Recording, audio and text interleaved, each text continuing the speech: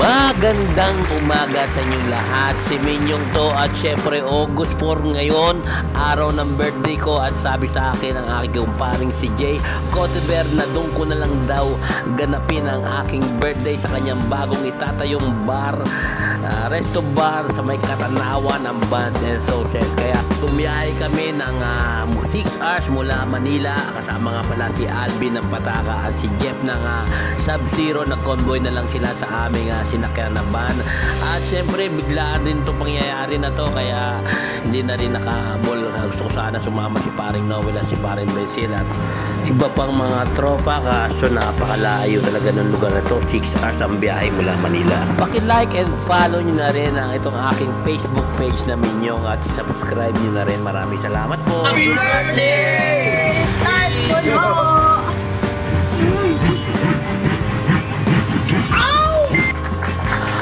Pagkatapos ng umagang tagayan, tumagay agad kami, alas 7 pa lang ng umaga. Siyempre hanggang dito ba naman ay nagluluto pa rin si Mrs. Siyempre okay lang yan dahil napakasarap talaga magluto ng aking asawa.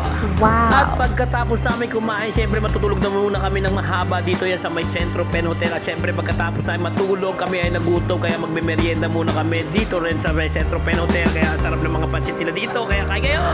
At habang kami ay kumakain, meron pa sorpresa mga staff ng Centro Pen Hotel na surprise uh, birthday greetings. Maraming maraming salamat Centro Pen Hotel. Nagulat ako pero nasaya masaya ako sa inyong uh, surprise happy birthday at saka yung uh, sa inyong cake. Thank you very much.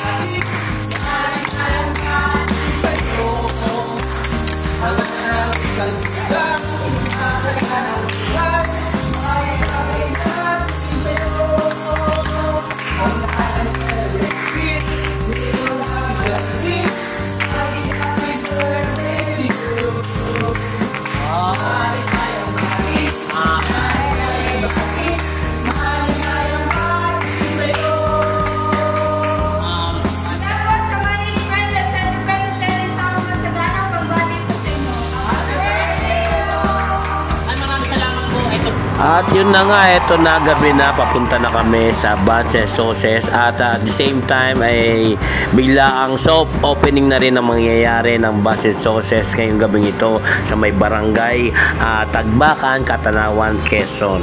Hoy, diretso kayo sa taas ha? ha? Sa taas, May taas, sa gilid. sa gilid. Sa gilid. Okay. Papa, papasundo ko kayo natin. Ayan o. Nakachinelas lang ako. Nakachinelas lang ako.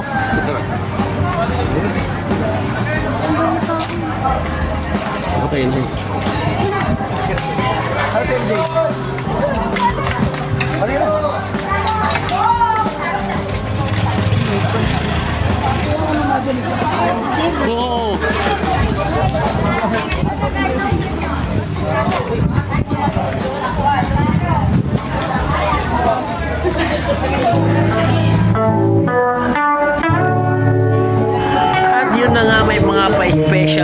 Pa-special performance pa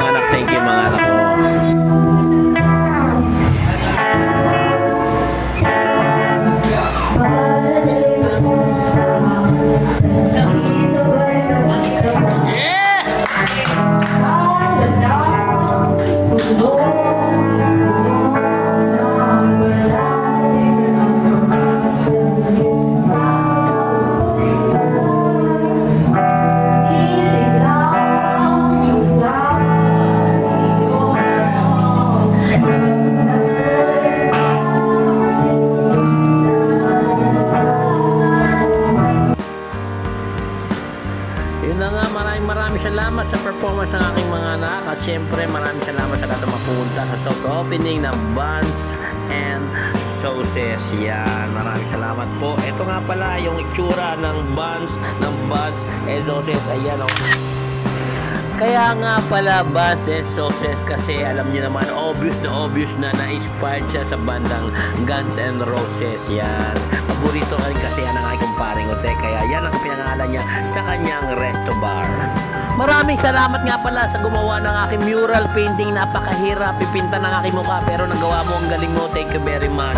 At maraming salamat syempre sa surprise cake ng aking love ko Joyce. Thank you very much. I love you so much. Maraming salamat. Happy birthday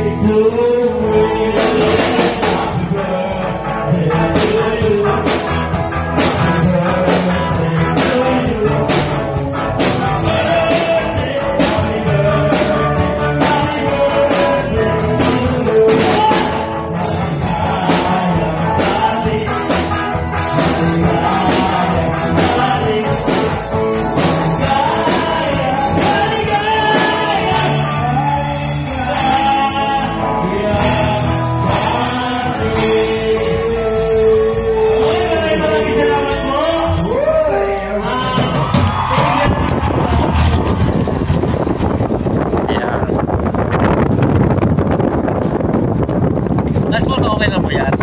Taga Manila na to. Hindi ko na nga pala nakuna ng video yung aming jamming kagabi. Check nyo lang po sa FB Live ng Minyong. Thank you.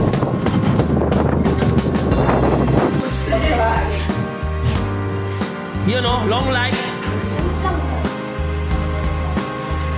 Thank you ulit sa nag-paint ng aking mural painting, Minyong mural painting. Maraming salamat.